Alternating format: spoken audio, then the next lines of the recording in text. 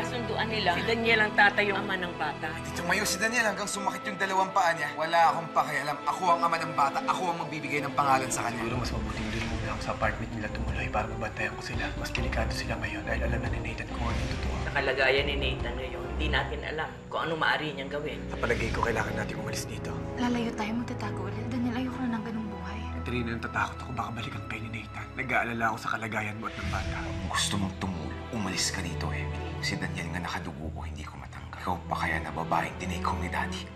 Hindi natin pwedeng layo ang bata sa sarili niya, Mama. Wala sa tamang katinuan si Nathan. Sasaktan niya lang po ang bata. Bakit ko siya sasaktan? Eh, mahal ko siya. Iba yan din ang sinabi mo kay Katrina. Pero anong ginawa mo? Hindi ba't ginahasa mo siya? Niyura ka mo kayo ng pagkababae at pinaboy mo siya! Hindi totoo yan! Wala akong ginawa kundi sa... Sabihin mo ang totoo!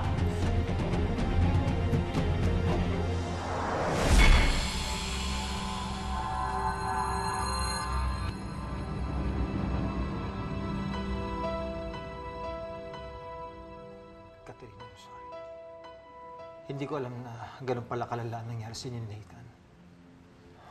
I'm sorry sa ginawa na anak ko sa'yo. Hindi ito dapat nangyari. Katerina, I'm sorry din. Ako yung nagsabi kay Nathan kung nasaan ka. And I just did it kasi nakita ko kung gaano ka-desperate siya nung gabi niyo. Kung gaano siya ka-depressed. Dahil nawawala ka at namimiss ka niya, I just tried to help. I just wanted to help him. Eh, hindi ko alam na, na ganun siya kalala. Na magagawa niya sa'yo yun. Katerina, anong magagawa ko para makabawi ako sa'yo? Para mapatawad mo kami? Wala po kayong kasalanan. Si Nathan po lahat na may kagagawa nito. Siya lang po yung dapat magbayad. Katerina, hindi ko alam kung paano ka pa nakakabangon. Pagkatapos ng napakaraming dagok na pinagdaanan mo. Dahil po yun kay Daniel. Siya lang po yung lakas ko. Siya po yung tumutulong sa akin para bumangon at mabuhay ulit. Kung wala ko si Daniel, tagal na po ako namatay.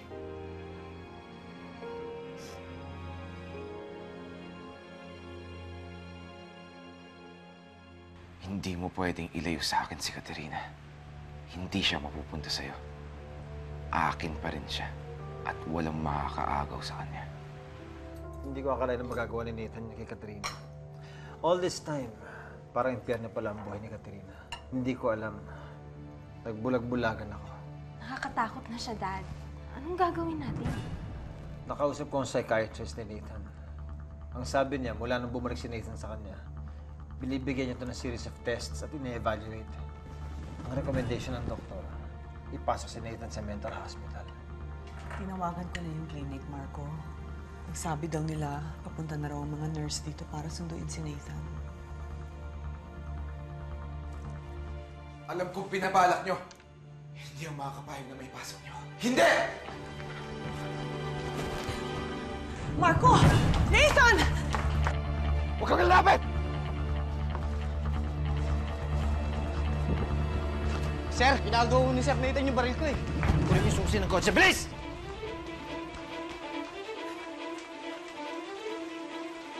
Nandito na pala ang gamit niyo? Ay, naku, hindi pa po yata nakakagay yung mga gamit ng bata. Ay, nandun lang yung sa tasong hagdan. Kaya ako nakukuha. Okay na ho ba? Balik ka rin na lang. Okay na ho. Splash pa. Nay?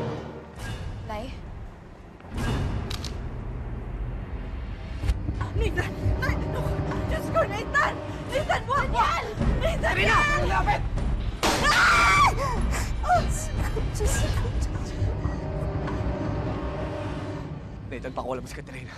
Subukan mo lang lumapit! Subukan mo lang! Tarantado kayo! Balak nyo ba akong takasan? Kung hindi rin na mapupunta sa akin si Katerina, walang makakuha sa kanya! Lalo na ikaw, Daniel! Nathan! Nathan, wag! Mama! Nathan!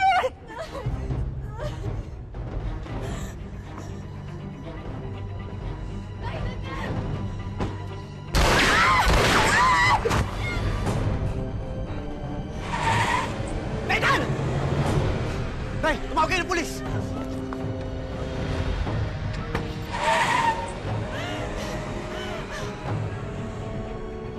Diyos ko.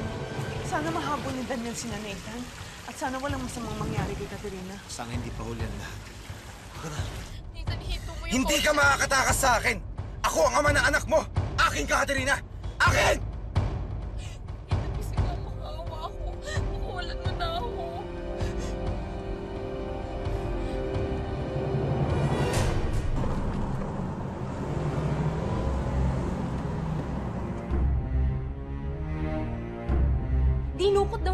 Si Katerina. Eh, hinahabol sila ngayon ni Daniel. Naku, Diyos ko! Baka kung anong gawin niya kay Katerina! Ay, naku, man- mahal naman ho ni Nathan si Katerina. Hindi naman niya ho siguro aanuhin si Katerina. Matagal niya na sinasabing mahal niya si Katerina pero sinasaktan pa niya. But with Nathan's state right now, he might do something desperate. Baka mapatay niya si Katerina or even himself, or both.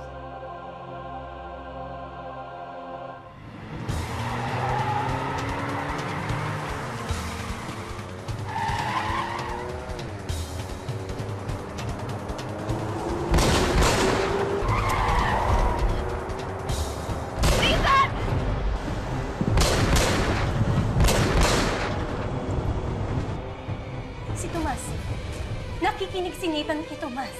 Baka makatulong siya sa atin.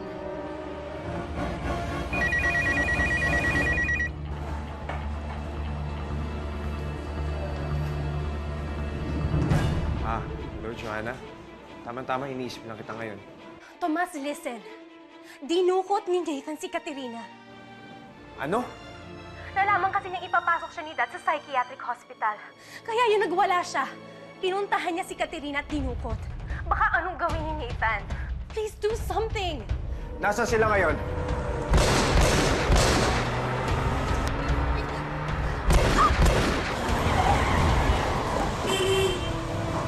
Ibaba mo na ako!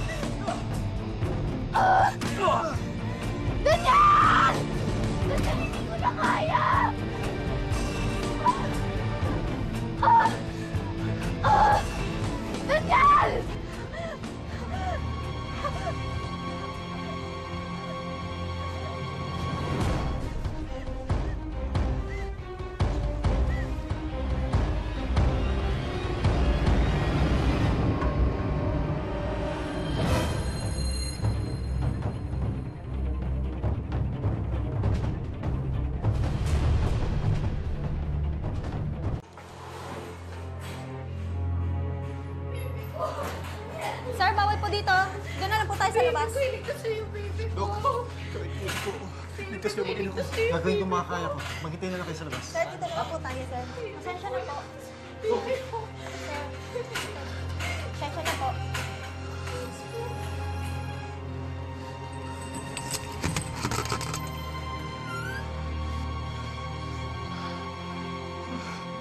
Mrs., bibigyan namin kayo ng mild sedative para sa sakit. Hindi na ako. Kung kailangan mamili-piliin yung bibili ko ang bakawa ko, kailangan na mabuhay, please. Ah!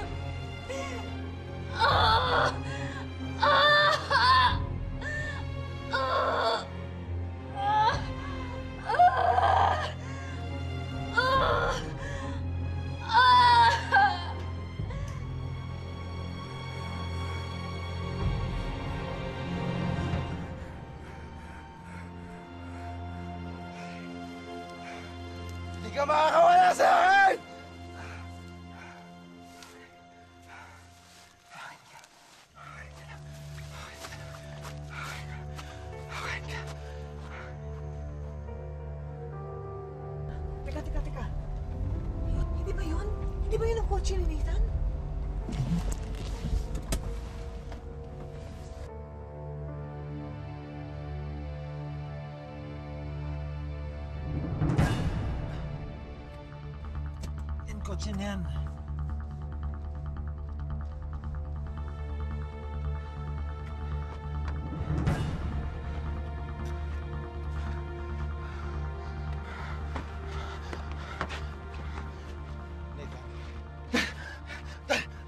Ginawa sa akin ni Daniel, Dad! Dad, tignan niyo! Umuwi na tayo. Halika na. Dad, no! Tatakasan ako ni Daniel at Katerina! Kailangan ko silang hanapin! Halika sa akin. Uuwi na tayo. Come on. Dad, alam ko kung saan sila pumunta! Promise, alam ko, Dad! Pumuntahan ko sila, tatakasan nila ako! Nathan, enough. Come on. Tama na. Dad, no! Tama na. Dad! Aalis na sila! Balak nila takasan! Relax, okay? Uuwi na tayo. Uuwi na tayo. Dad, anong ginagawa nila dito? Nathan, kailangan kang sumama sa amin. Dad, hindi! Hindi! Binawan niyo ako! Binawan niyo ako! Binawan niyo ako! Binawan niyo ako! Dad, wait lang! Wait lang! Wait lang! Ah!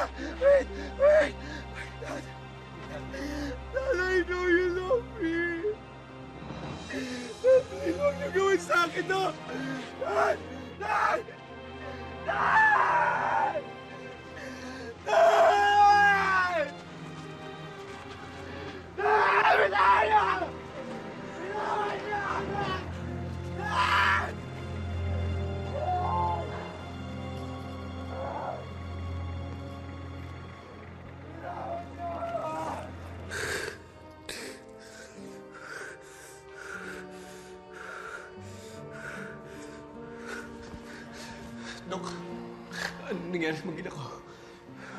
I'm sorry.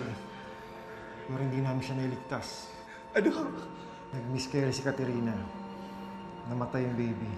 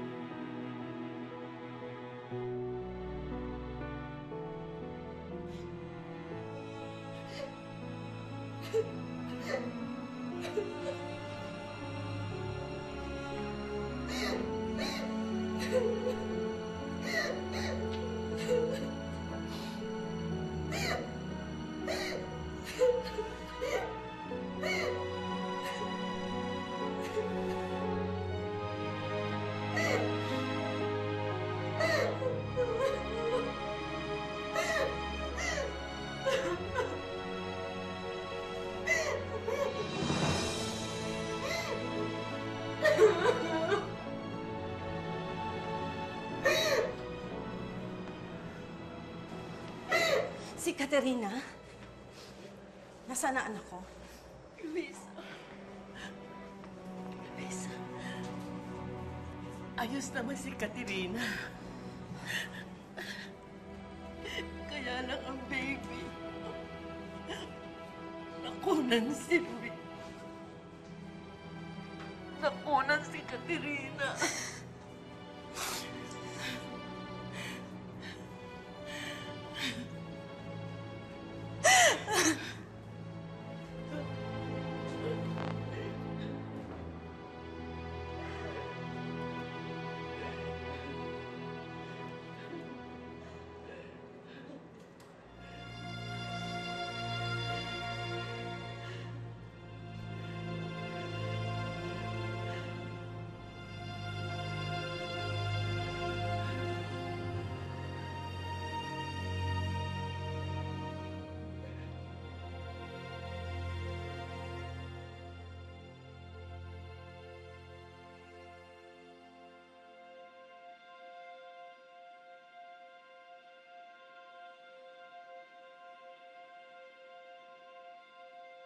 Mo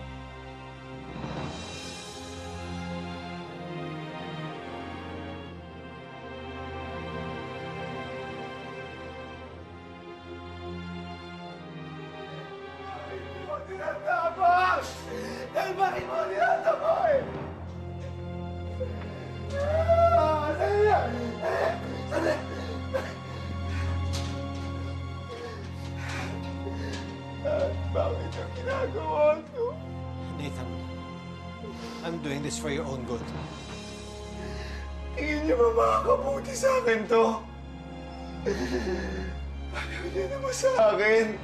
Nathan, mahal kita kaya ako ginagawa ito. Sinungaling! Ginagawa mo na para magkasama kay Tintin at Emily! Para mabuo yung pamilya mo! Sinungaling! Anak mo rin ako, Dad! Anak mo rin ako! Anak mo ako!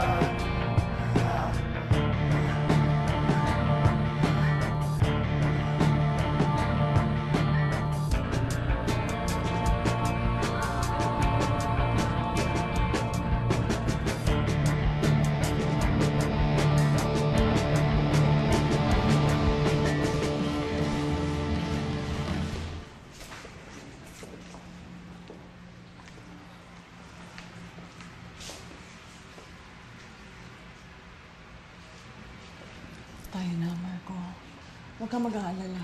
Aalagaan nila dito si Nathan. Saan ba ako nagkamali, Emily? Bakit ko ba napabayaan ng ganito si Nathan? Sa tingin mo ba makakabawi pa ako sa kanya? Huwag mo lang sisihin ang sarili mo. Ginawa mo lang naman ang sa tingin mong tama para kay Nathan. Wala naman sa ating nakakaalam na ganito pala ang mangyayari. Emily, kung hindi ako nagbulag-bulagan, hindi aabot sa ganito si Nathan. Walang masasaktan, walang magbubuis ang buhay. Kasalanan ko lahat ito, Emily.